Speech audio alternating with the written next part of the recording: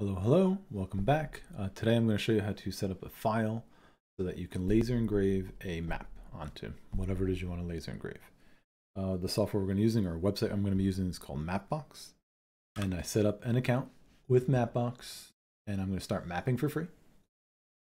So with Mapbox, basically taking uh, Google Maps and you're going to adjust a file here so that you can laser engrave it.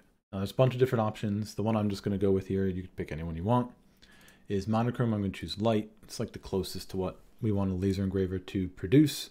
Since you know laser engraver doesn't really do colors, it just does different depths. So with this, um, you can adjust a map. You can go anywhere in the world you want to go. I'm just loads in San Francisco. I'm going to show you San Francisco. All right. And let's say I want to laser engrave this right here. Beautiful, right? Went to San Francisco on vacation and I want to laser engrave a map of San Francisco.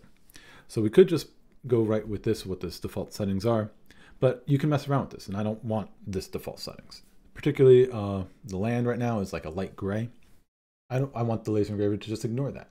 So over in the top over here, you can mess with some of these macro level things, but I actually like to just jump right into the layers here and mess with these. So all in the bottom is land. So if I click on land down here, I can override this and I'm going to change land to white. So now look, no land, the laser engraver will just leave it blank. And that's what I want the, for it to do for land. But I want the roads to be darker. I want it to laser engrave road, right? So on the side here, if you look, if I keep scrolling up, roads, here we go.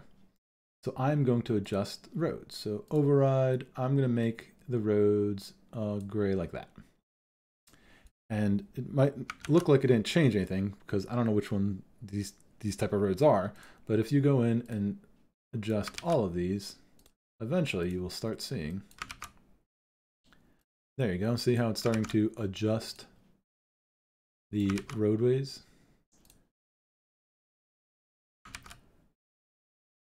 Pretty much close to what I want. Some of these will do the fill inside. Why don't I just change all of them? But you can adjust and change them however you'd like. Doesn't um, matter. It's whatever you want the laser engraver to engrave, right? So eventually it's going to start filling these in. Keep going with this. There you go.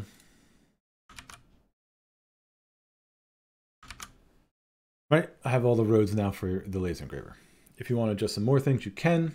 For instance, I don't want any of these labels on the uh, my laser engrave. I just want to be blank or no labels on it. If you start scrolling up, you start seeing uh, these T's that's showing you the text files. So if I click on that and there's, and there's a little eyeball up here and you can just hide the layer, right? Uh, I don't want any text things showing. So you can just start turning them off. Eventually you'll get oh, points of interest is definitely one all those. If eventually you'll get to uh, turning them off. If you actually want to know which layer is which, you want to turn off a specific one. If you actually start double clicking, it'll show you what layer you're messing with. And then you can go find it over on the side here and adjust it the way you'd like to adjust. But let's say that is now um, the map I want to laser engrave. I set it up at San Francisco it looks good to me. This is what I want to go. So what can I do from here? So from here, you can print this file and you can move this around your screen how you'd like it. I want it to print that. You can adjust the size. Say I'm laser engraving on a 12 by uh, 7.1 piece of wood.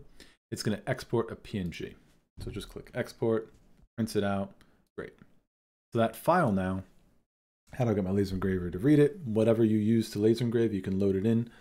Uh, the PNG file, found Photopea. Photopea works on Chromebooks, and we're in that digital age right now. So in Photopea, you can just open uh, the file, and there's my map. Uh, one thing to know so with Photopea is it doesn't necessarily hold that size that we loaded.